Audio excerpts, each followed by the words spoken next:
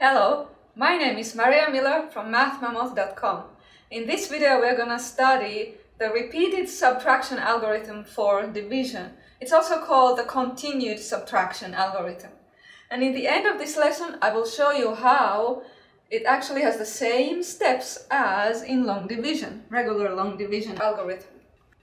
You probably know that multiplication can be thought of as repeated addition. For example, 4 times 2, you can think of it as 2 and 2 and 2 and 2, right? 4 times 2 steps. Now, division is the opposite of multiplication, and so it can be thought of as repeated subtraction. Like here, you start at 8 and you subtract 2, subtract 2, subtract 2, subtract 2, as many times as you can until you hit 0, or cannot anymore. So we ask how many times are you able to subtract 2 from 8? And the answer is 4 times. So that is the division answer, 4. Let's look at this example. Bag 771 apples, 3 apples per bag. It is a division problem. We could divide 771 divided by 3, right? But let's think of the repeated subtraction, because we can, could solve it by subtracting 2 we could take the apples and subtract three apples or put those three apples into a bag. And then subtract three more apples and they get put into a bag.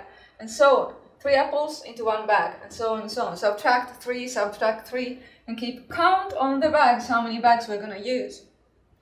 And then ultimately, after a long while, we would hopefully have zero apples or one apple or two apples.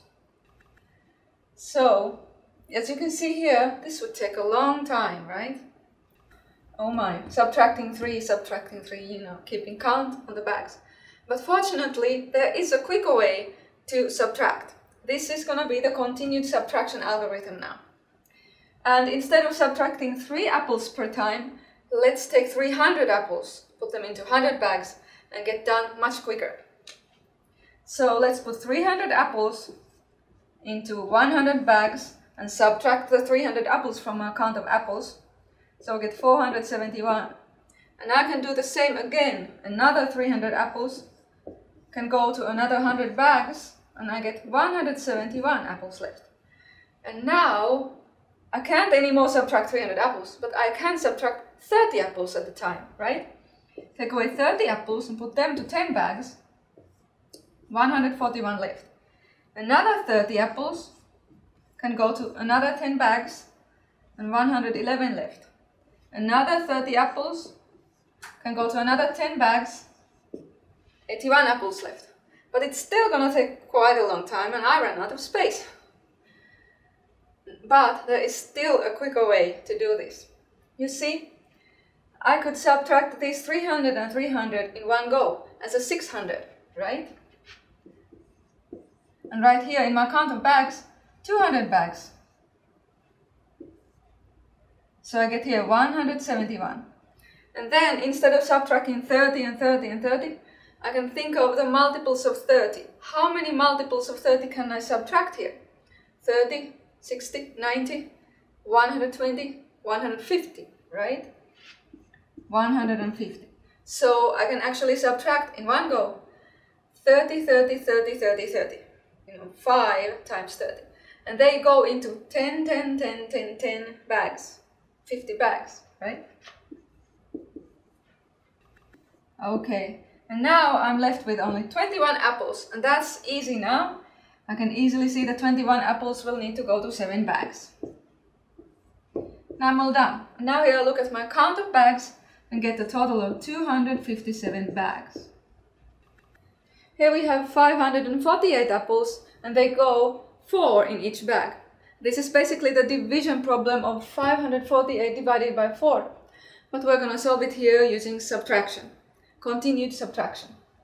Okay, first of all, like over there, I'm going to take 400 apples and subtract all of them at once. And they would go to 100 bags, right? So I have 148 left. Now I could subtract 40 apples and 40 apples, 40 apples. But let me think how many times I can subtract 40 apples. Okay, 40 apples, 80 and 120. 120 apples.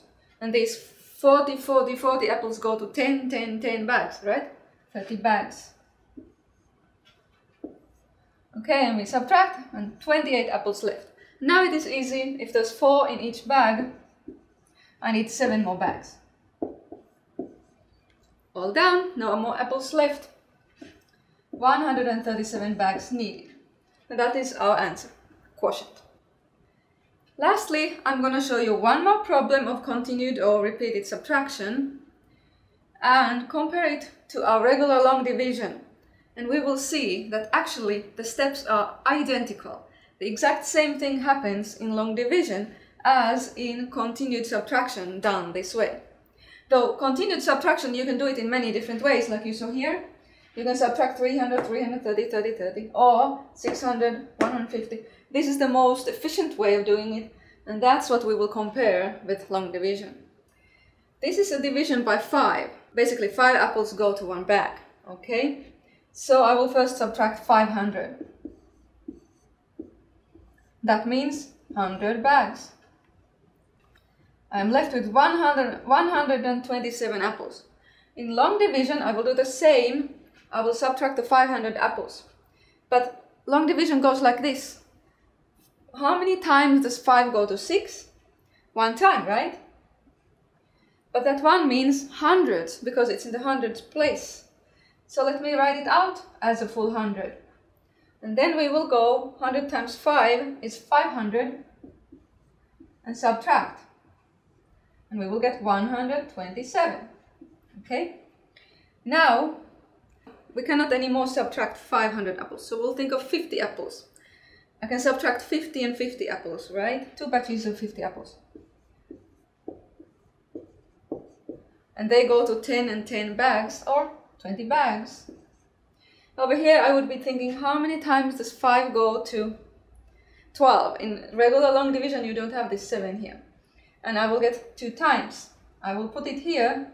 I would put it here, but now I'm gonna write it here and write it as 20 because the 2 is in tens place. It means 20.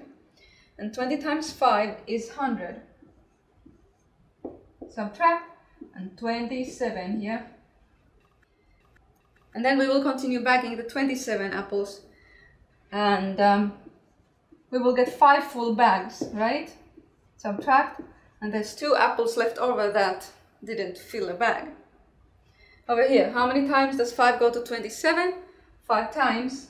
5 times 5, 25. Remainder 2. Okay.